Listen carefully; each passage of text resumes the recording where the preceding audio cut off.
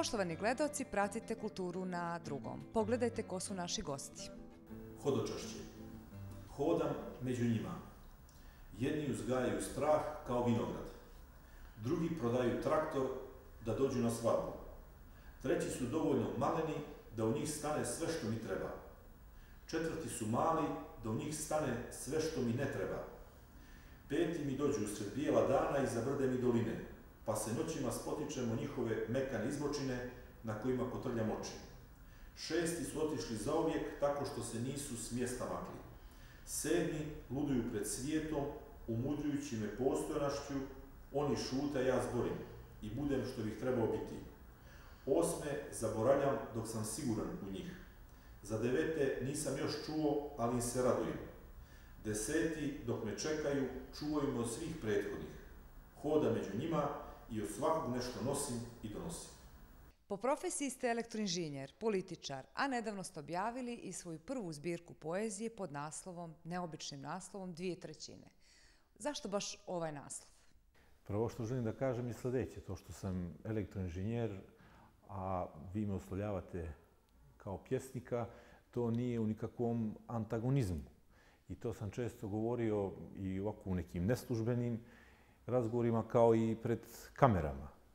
Možda sam baš u vašoj emisiji jednom kazao da postoje principi koji jednako vrijede i u umjetnosti, nauci, sociologiji, samo što se na drugačiji način manifestiraju. U tome je čitava razlika. Samo u tom pojavnom obliku se ogleda ta distinkcija. A kad me pitate zašto dvije trećine, onda opet želim da kažem da ja kao autor ne pretendiram da vama kao neko ko čita moju poeziju namećem svoja značenja. Zašto bi to radio? E, vi imate pravo na svoje značenje i na taj način da participirate u jednom umjetničkom dijelu. Zapravo svako umjetničko dijelo je nedovršeno, a mi... Govorite koliko je bitna ta recepcija, da pravo da se u tom krugu recepcije ili čitalačke recepcije poezije dovršava značenje jedne knjige, jednog naslova, pjesme i tako dalje. Tako je, radi se dakle o otvorenosti umjetničkog dijela, a mi svojom osobnošću i percepcijom njega samoga dajemo mu značenje. I zbog toga ja ne želim vama namećati svoje značenje ali odgovorit ću vam donekle. Ako govorimo o mojoj poeziji, zapravo ja sam zaokupljen riječju. Riječju koja se piše malim slovom i koja kao takva uvijek izda misao. I tu možda postoji ključ zbog čega su dvije trećine. Ili dokle god smo ovdje gdje jesmo, mi smo zapravo u dvije trećine. Ali nisam zaokupljen samo riječju koja se piše malim slovom. Zakupljen sam i riječu koja se piše velikim slovom i koja je sveobuhvatna i zahvaljujući kojoj smo mi permanentno u tekstu. Sad sam se sjetila, ima jedna rečenica u Epo Gilgamešu, gdje uh, se kaže da je čovjek uh, dvije trećine životinja, a jedna trećina Bog. Eto, vidite kako se množe sva moguća značenja i što je meni jako drago zbog toga. I nisam dovoljno nepametan da uskratim vam tu mogućnost. Šta je odredilo vaš pjesnički put i uopšte poetiku? Da li ste nekad sumnjali u taj put i jeste li imali pomoć i usmjerenje tokom pisanja? Pa ja ne bih to nazivao nekim posebnim putem, niti ja imam neku ambiciju za nekom pjesničkom afirmacijom. Prosto poezija je način na kojim ja procesuiram stvarnost oko sebe i stvarnost u sebi. A ako me pitate jesam li imao neku podršku, onda sam imao jedno druženje i zajedništvo s ljudima s kojima dijelim iste ili slične umjetničke vrijednosti. Koji Recimo su me... sa velikim crnogorskim pjesnikom Mladenom Lomparom, je tako? Tako je, sa velikim crnogorskim pokojnim pjesnikom Mladenom Lomparom, kojem je i posvećena jedna od tih pjesama u, u, u, mojoj, u mojoj zbirci. E, ima tu još niz e, ljudi koji su utjecali na taj način na mene, koji su me e, prijateljski savjetovali što da berem od tog sveobilja literature koja nam se danas nudi. Ali nije samo to. Prosto poezija je svuda oko nas i bitno je percipirati je dakle, opaziti je i na pravilan način se izraziti. Kad kažem na pravilan način, onda ne govorim to u smislu da postoje tu neka pravila. Poezija je zapravo jedna, ako mogu tako reći, a ne volim tu riječ upotrebiti, djelatnost u kojoj nema pravila. Dakle, sloboda. Tako je. Dakle, sloboda poezija je po meni otkrivanje transcendentnog u stvarnosti, ali isto tako i transcendentiranje stvarnosti. Na jedan način može se reći da je to jedan reverzibilni proces. Je to ono kao oneobičavanje e, stvarnosti? E, tako je, kao što je to lijepo govorio Viktor Šklovski o onebučavanju stvarnosti. Jeste. Koju pjesmu biste izdvojili? Ne bih mogao izdvojiti ni jednu pjesmu. Ako me pitate koje su mi pjesme značajne ili manje značajne, zapravo najznačajnije su mi one koje još nisam napisao, s kojima se još uvijek borim. I dok to ne izrazim do kraja, do tada će mi ne biti najznačajnije. A e, naravno i ove koje su ugledale svjetlost dana, one su pogodne za dalju neku korekciju i prilagođavanje onome što ja želim da kažem. Ali kako sam prije rekao, misao uvijek izda, u stvari riječ uvijek izda misao i zbog toga nam je potrebno to oneobičavanje jezika, jer teško je stvarnost smjestiti u tu malu riječ. Imamo dva koncepta kako nastaje umjetnost. Jedan koncept kaže ona se može naučiti, a drugi koncept kaže morate biti nadahnuti, morate imati talenat. To je od Boga dar. Šta mislite? Možemo li mi naučiti kako da napišemo dobru pjesmu? Ja mislim da ne možemo samo naučiti kako napisati dobru pjesmu. Pitanje je što je to dobra pjesma. Nešto što nekad nije bila dobra pjesma, danas jest i obratno. Svakako da je tu potrebna jedna doza nadahnuća. Naravno, ima i određenih, da kažem, zanatskih sposobnosti, ali nikako ne bih e, mogao e, se složiti s onima koji umjetnost svode samo na zanatstvo. Posao kojim se bavim zahtijeva jednu vrstu izloženosti, ali poezija je zapravo jedan vid apsolutne izloženosti. Ali to nije golotinja. Vi se u poeziji, ako mogu tako reći, skidate do gola. Ali razlika između vulgarnosti i one provokacije koja, je, koja aludira na nju upravo je u eleganciji umjetnosti koju između stalo pruža i poetski izraz. Je li ovo danas ipak poezijom oskudno vrijeme? Sigurno da jeste, ali ovo vrijeme je oskudno i po mnogo čemu, pa onda i, i po tome. E, prosto danas imate neke fenomene koje prije niste imali. Imate neke mogućnosti koje također prije niste imali. Imate taj fenomen društvenih mreža koji pruža određenu, određeni osjećaj samozadovoljenja.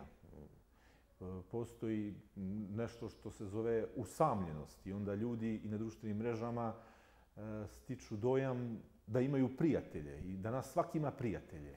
Tako i da nas svak se može osjetiti da je pjesnik. E, ja ne... I imamo ih po 2000, je li tako, na Facebooku? Mm, tako je, i, i, i više ili manje.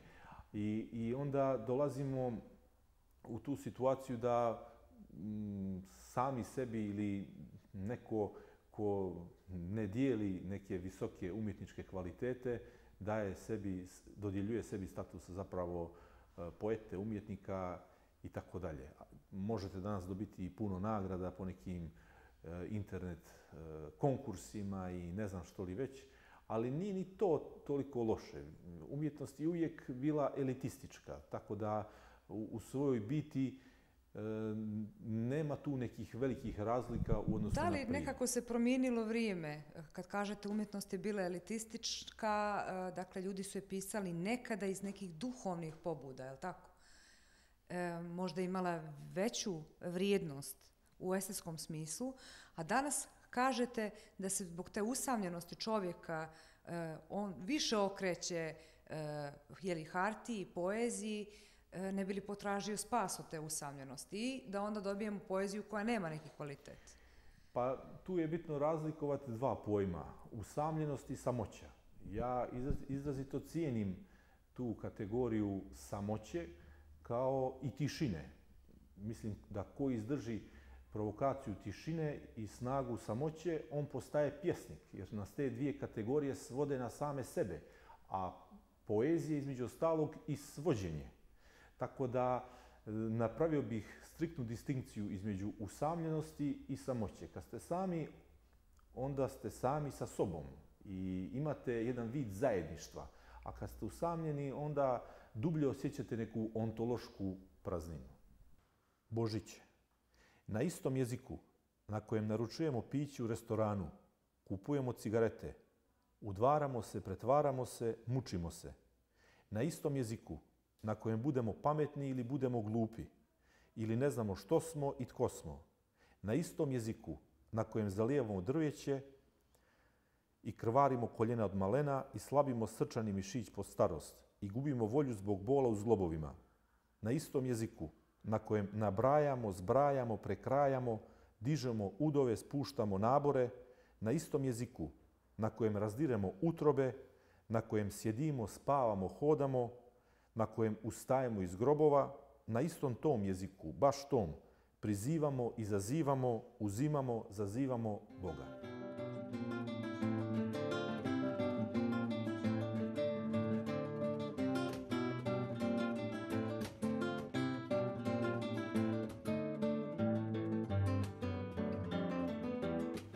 Završili ste pravo, dakle pravni fakultet, međutim e, to vas nije u potpunosti zadovoljilo i nastavili ste jeli, da otkrivate svoj unutrašnji svijet i svoje talente, dakle posebno za slikarstvo. Evo to koja je vaša prva izložba e, portreta.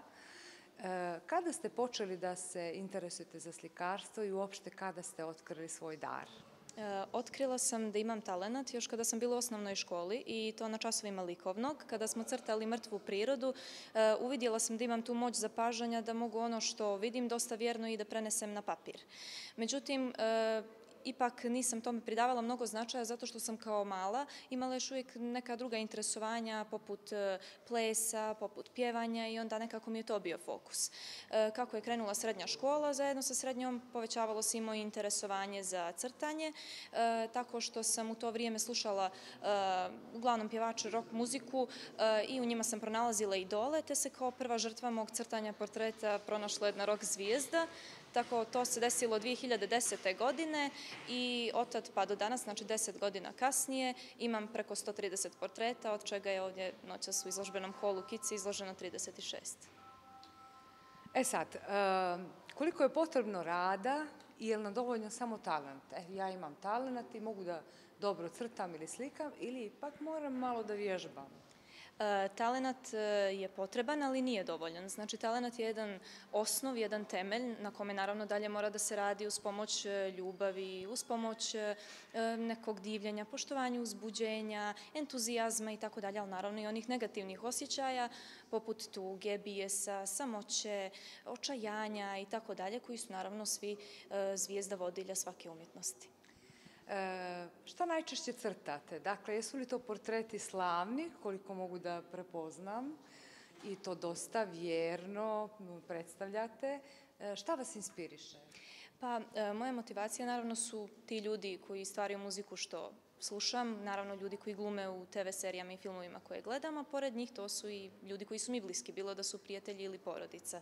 Uh, osim toga, znači, bavim se crtanjem portreta e, iz razloga što želim da izraze lice i opšte sjaj očiju uhvatim na papiru, jer taj sjaj kod svake osobe je različit, drugačiji je. I onda želim jednostavno da taj sjaj, to zračenje osobe, e, bude proizvod mojih ruku, da jednom na papiru zauvijek mogu da ostavim taj osjećaj koji u tom momentu crtanja ta osoba u meni probudila. To zaista nije jednostavan e, posao. E sad, e, šta je to najzahtjevnije? Šta je to što određuje fizionomiju lica čovjeka najviše? Jesu li to, je li to nos, jesu li to usta, oblik lica ili šta je to najviše? Mislim da su to oči, jer se one ogledalo duše, znači to je nešto što najviše karakteriše svakog čovjeka. A sad, e, vaši vršnjaci vjerovatno najviše svog vremena provode ovako uz telefon i e, uz laptop, internet i tako dalje, negdje zanemarujući istraživanje sobstvenog unutrašnjeg svijeta i potencijala, e, E, koliko je to, koliko ima umjetnički nastrojenih vršnjaka? Mislim, ne možemo napraviti neku statistiku, ali šta vi primjećujete? Pa kako vrijeme odmiče i kako smo sve moderni i naravno sve više upleteni u tehnologiju, e, ono što mogu da primijetim jeste da mnogi moji vršnjaci zaboravljaju na umjetnost, e, tako što bivaju hoćeni u kanđu ovih ekrana kompjutera i telefona, ali opet ne mogu da generalizujem, jer e, moram uzeti u obzir da danas postoje kompjuterski programi koji omogućavaju stvaranje umjetnosti, kao što je digitalno crtanje, pisanje, stvaranje kraćih amaterskih i uopšte profesionalnih filmova, kreiranje muzike i tako dalje. E, tako da opet kada vidimo nekoga da stoji iza kompjutera ili uopšte nad ekranom telefona, ne možemo znati da li u datom momentu jel, visi na društvenim mrežama ili e, ipak stvara umjetnost, iako je nažalost u većini slučajeva to ovo prvo. Ali... Dakle, tehnologija može biti dobra ako nam je dobar fokus.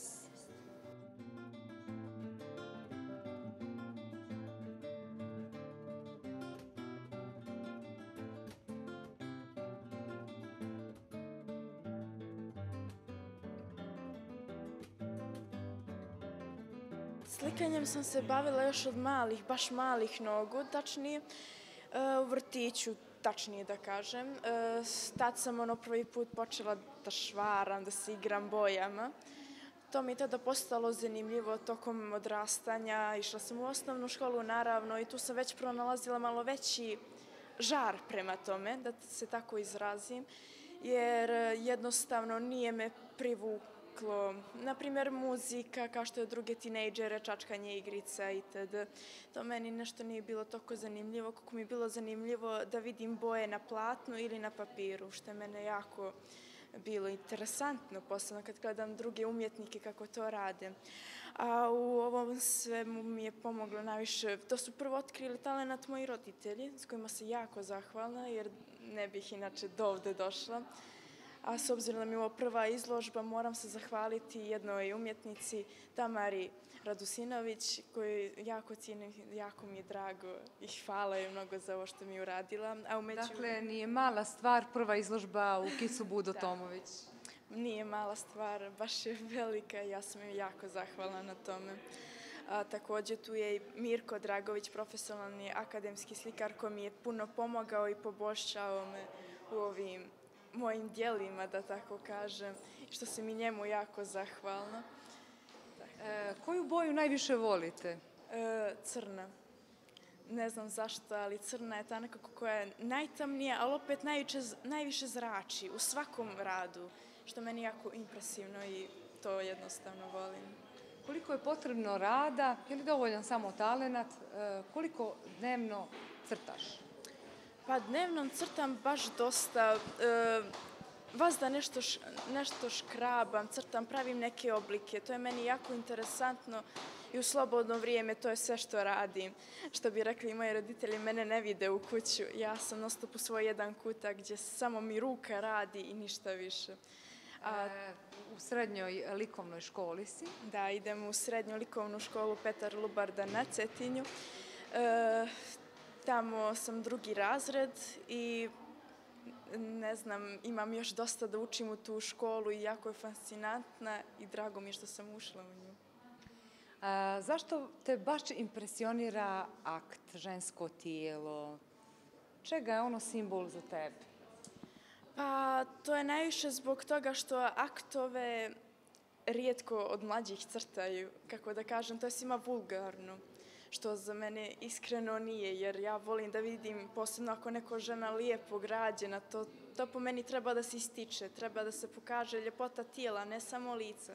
Zato je na svaki moj rad izraženo tijelo umjesto lica, svako lice je prekriveno, e, da bih pokazala e, ljepotu nečijeg tijela, pošto ima dosta žena koji ono, govore o sebi, ja, ja sam debela, neću da se pokazujem svijetu. Ne, to je baš suprotno.